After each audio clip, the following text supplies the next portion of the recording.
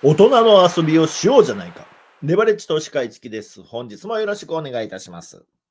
さあ、アメリカのね、株式の方が下がりました。私的にはただ単にレンジに入ってるのかなという気がするんですけれど、アメリカの中間選挙の方ですね、意外と民主党が善戦していると、だから株価が下落したのか、それとも今仮想通貨がね、思いっきり下がっている、もう暴落と言っていいぐらいのね、下げ幅をしておりますので、まあ、それに引っ張られたのか、まあ、どちらかじゃないかなというふうに思ってます。原油価格、恐怖指数の方もね、チェックしていきましょう。えそうしまして、木曜日の SOXL の指値ですね、えこちらの方も考えていきたいと思います。盛りだくさんの内容で SOX 会議、スタートです。もうこの番組はね、SOXL の短期、中期、そして長期の、えー、取引の方しかしなくなりましたので、まあ、負けない取引っていうのをね、え実践していきたいと思います。SOXL は長期ではそんなものは資産運用できない。短期ではボラ率が高すぎて扱えないという人たちがたくさんいます。危険だ、危険だという人がたくさんいます。どこに危険が潜んでいるのか私には理解できませんので、実際に運用して安全資産なのかどうか確認していきたいと思います。今のところ SOXL 約90%ぐらいの下落をね、叩き出しておりますけれども、まあ、全くね、はい、持って、今のところはね、私にとっては危険なところっていうのはね、まだ見えてきません。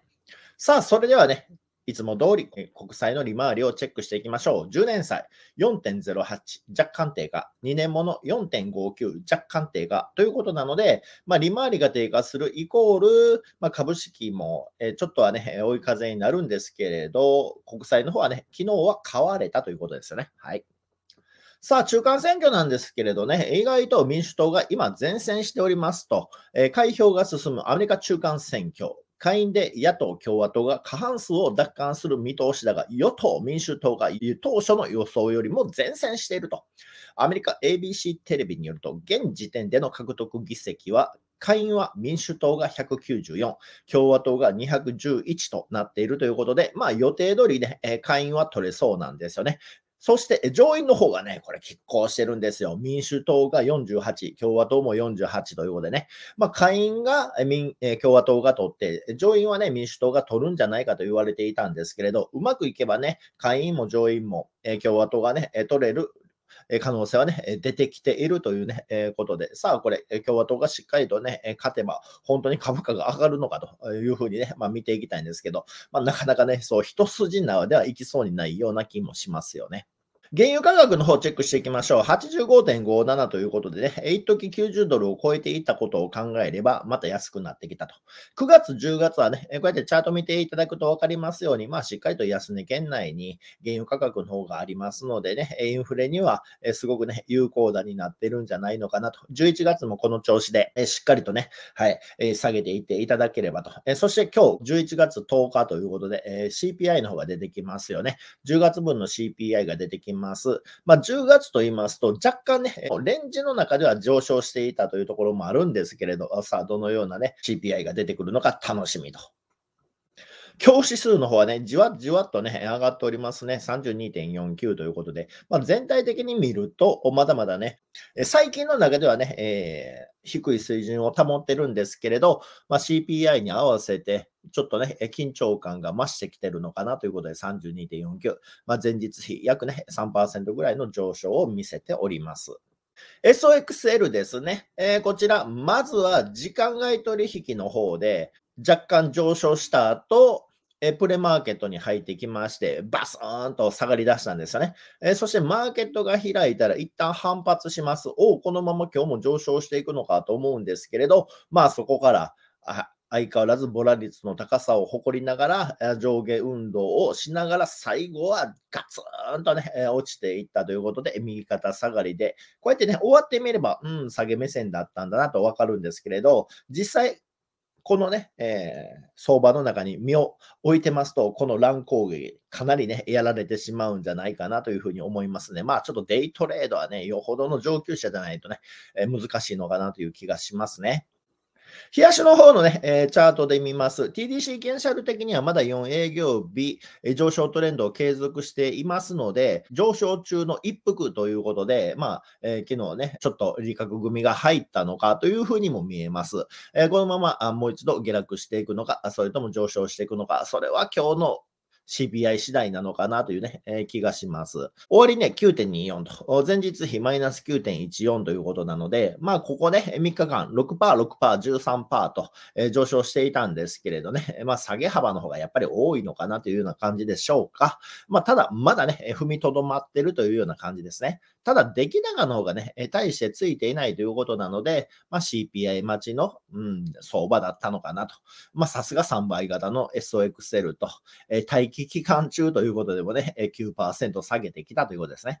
もう少しね、え、SXL の流れの方を見ていきますと、開始が9.74とね、高い水準で始まりました。そして高値が9.82まで上昇しましたけれど、安値が9.18までしか落ちなかったということなんで、まあ、ボラリズそこそこあったんですけれど、安値はね、なんとか9ドル台で保ってますね。私たち的には8ドル台になっていればね、購入の方をね、ガンガン進めていきたいなと、8ドルさらに切ってくるとね、欲しいなというふうに、ね、なるんですけれど、さあどうなるでしょうかと。水曜日のマーケットは9.24で終わっておりますので、木曜日のマーケット、上にね、思いっきり振れば10.71、下に思いっきり振れば7.76ということになってきます。今日はね、CPI の発表がありますので、まあ、ここマックス値動くかもわかりませんので、まあ、このあたり気をつけていきながらと。まあ、下に思いっきり振ってくれたときは7.76ということなので、まあ、8ドル台でね、今日購入できれば嬉しいなと、そんな感じでしょうか。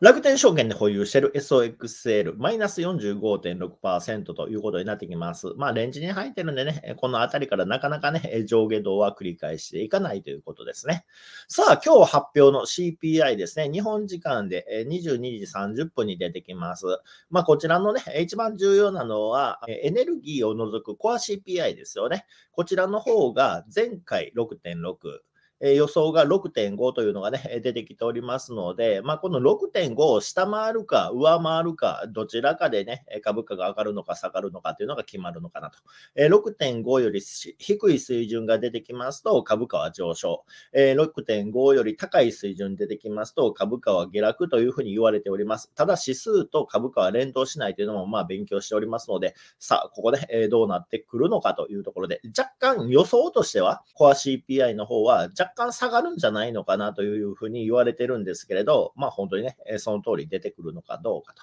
あとはね、はい。毎週出てきます。新規失業保険申請者数。こちらの方も増加しているのかどうか。まあ、すべて22時30分に出てきます。マーケットが開く前に出てきますのでね、まあ、ここはプレマーケットの間でしっかりと観測していきたいところですよね。11月10日木曜日の戦略。TDC キャンシャル的には4営業日上昇ですから、昨日、えー、吐き出した分、えー、今日はね、えー、上昇していってくれるんじゃないかと。ただしこれは終値ベースの話でして、マーケットが開いている間はね、紆余曲折ありますから、安くなっている、1日のね、値動きの中で安くなっている SXL をね、まあ、いかに今ね、えー、奪還していくのかというところがね、重要なのかなと。9.24で終わっておりますので、思いっきり下に振れば7.76ということなんですけれど、まあ、ここまではね、下に振らないんじゃないかなということで、まあ、基本的には10ドルを切っていれば、SOXL はお宝株だと思っておりますので、まあ、10ドル切りだったら購入検討していってもいいのかなと。えー、ただし、できれば9ドル以下。で、もうほとんどね、え仕込みの方は終わってるんで、あとちょろっと追加したいという方は8ドル以下で待ち受けして、まあ、最安値の6.21までね、指値の方を入れていくということでいいんじゃないかと。今、自分がね、お手持ちの SXL、どれぐらい保有されてるのかによって、10ドル以下で買うのか、9ドル以下で買うのか、8ドル以下で買うのかというところがね、まあ、決まっていくんじゃないかなと思います。私は9ドル以下の方で差し値は入れていきたいと思います。さあ、現物でエブル型の SOXL を持つというね、意味をしっかりと理解していきましょう。4440億円あるということは、運営会社さんはこの4440億円の中から信託報酬手数料をもらっているということになっております。ちなみにウェブルは130億円ぐらいしかありません。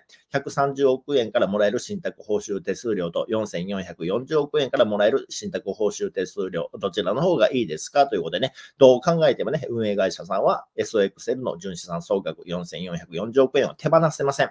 これは SPXL、S&P500 に3倍のレバレッジがかかっている商品よりも1000億以上多いということに、なってますから、このあたりのことを考えていけばね、正直な話、召喚来る、召喚来るとかね、3倍型のレバレッジが2倍に落とされるとか言ってる人っていうのはね、何を、どこを見てるんだそうです。株価しか見てないわけですね。株価の下落しか見ていないわけで、その裏側、運営会社さんは、今のこの株価が下落してても、ウハウハ状態で儲かってるわけですよ。これ株価上昇していくということは、純資産総額っていうのは2倍になれば、株価が2倍になれば、純資産総額も2倍になっていくということになりますので、ね、今下落してる時でもウハウハ状態で儲かってるのに、上昇していけば、さらにそのウハウハが止まらないということになりますので、まあ、そのあたりの経済の仕組みえー、運営会社さんがどうやって儲けていってるのかっていうのを考えればね、はい、SXL にね、召喚はないと。召喚が来るのはしょぼいね、純資産総額が200億円ない、100億円もないようなね、ETF 投資信託、そういう商品ですと、まあそのあたり考えたらね、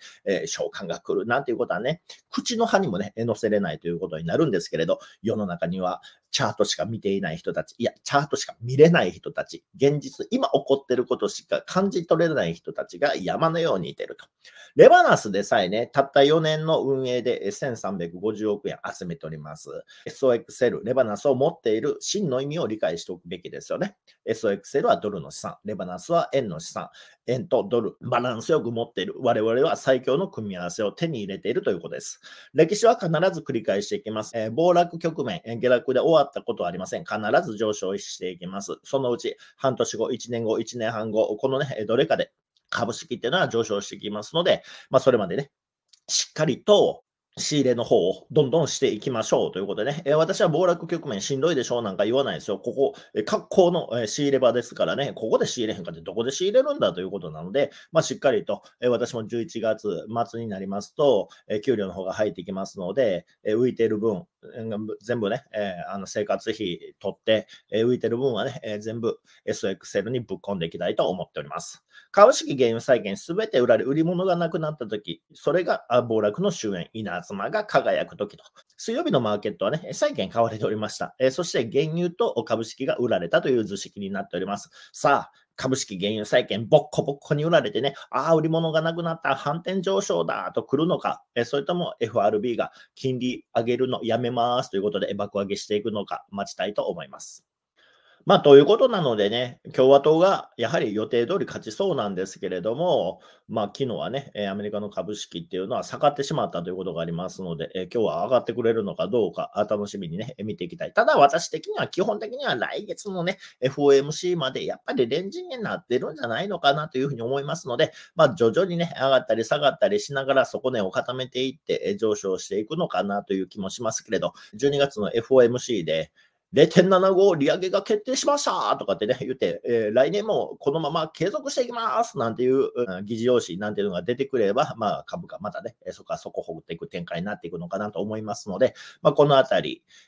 中間選挙が終わってからの FOMC の態度っていうのが見たいですね。どうも FOMC は民主党は嫌いだったのかなということで、バイデン政権にはあまりね、協力する気がなかったんじゃないかというふうに思います。じゃあ共和党がしっかりとねじれ国会にする、もしくは両方ね、議席を取ってしまうということになったときに FOMC、多少はハト派寄りの発言が増えるんだったら、あ、FRB はね、共和党が好きだったんだなというふうにね、まあ、考えてもいいのかなと。まあ、そこからはね、多少株価爆上がりしていくんじゃないかということで、12月の FOMC、FRB の対応、ここをね、待ちたいと思います。